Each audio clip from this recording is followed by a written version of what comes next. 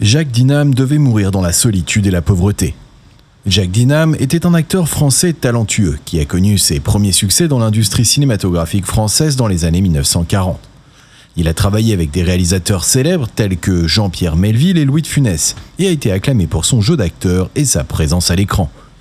Cependant, malgré son succès initial, Dinam a connu des difficultés personnelles et professionnelles tout au long de sa vie. Cette histoire explore sa vie tragique en détaillant ses hauts et ses bas, ses relations personnelles tumultueuses et ses difficultés à retrouver sa gloire passée.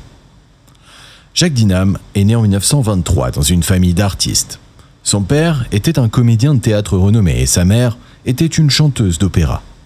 Elle a grandi dans le milieu artistique et a développé un intérêt précoce pour le théâtre et le cinéma il a commencé sa carrière d'acteur en 1947 avec un rôle mineur dans le film La taverne du poisson couronné.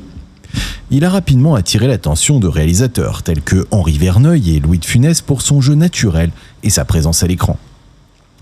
Au fil des ans, Dinam a acquis une réputation d'acteur talentueux et polyvalent, capable de jouer dans des comédies, des drames et des films d'action. Au début des années 50, Dinam a épousé l'actrice Claudine Dupuis, avec qui il a eu deux enfants. Cependant, leur relation a été tumultueuse et a finalement conduit à leur divorce. Les problèmes personnels de Dinam ont commencé à interférer avec sa carrière et ont contribué à sa chute ultérieure. Dans les années 50 et 60, Jacques Dinam était un acteur très demandé et travaillait régulièrement avec des réalisateurs renommés. Il a notamment joué dans des films tels que Le salaire de la peur de Henri-Georges Clouzot et Le doulos de Jean-Pierre Melville. Il a également travaillé avec Louis de Funès dans plusieurs comédies populaires comme Le gendarme de Saint-Tropez. Cependant, au fil du temps, les rôles de Dinam ont commencé à se faire plus rares et il a été relégué à des rôles mineurs dans des films de série B. Il a également connu des problèmes d'alcoolisme, qui ont eu un impact négatif sur sa carrière et sa vie personnelle. Malgré tout, Dinam a continué à travailler, apparaissant dans des films et à la télévision jusqu'à la fin de sa vie. Jacques Dinam a connu plusieurs problèmes personnels tout au long de sa vie, notamment des difficultés avec l'alcool et des problèmes conjugaux. Son mariage avec l'actrice Claudine Dupuis a été tumultueux, marqué par des disputes fréquentes et des infidélités. Leur relation s'est finalement terminée par un divorce difficile qui a eu un impact négatif sur Dinam. L'alcoolisme de Dinam a également eu un impact significatif sur sa vie personnelle et professionnelle.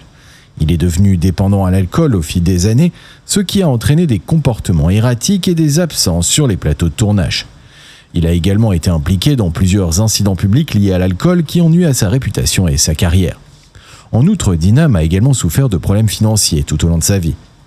Il n'a pas réussi à gérer son argent de manière efficace et a souvent été contraint de travailler dans des productions de moindre envergure pour gagner sa vie.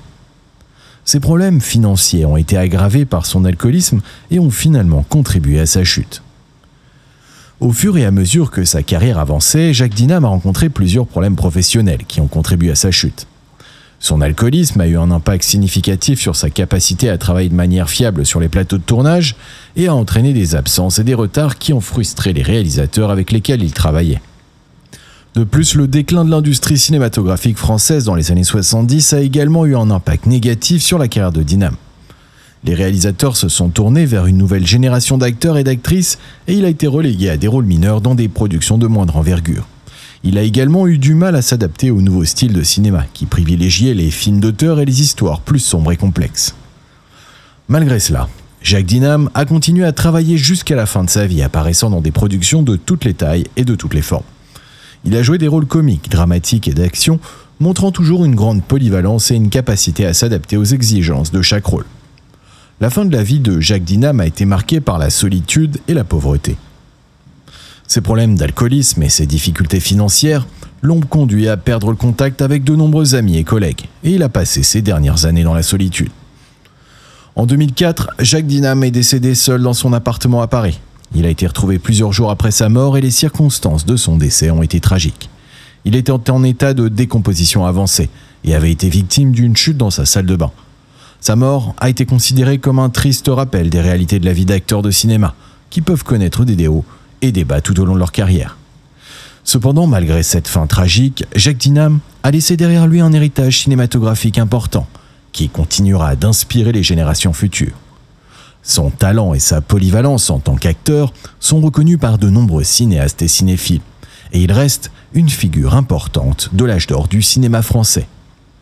En hommage à Jacques Dinam et à tous les artistes qui ont marqué l'histoire du cinéma, nous vous invitons à vous abonner à notre chaîne pour découvrir des histoires passionnantes sur les grands noms du 7e art. Merci de votre attention et à bientôt pour des nouvelles aventures cinématographiques.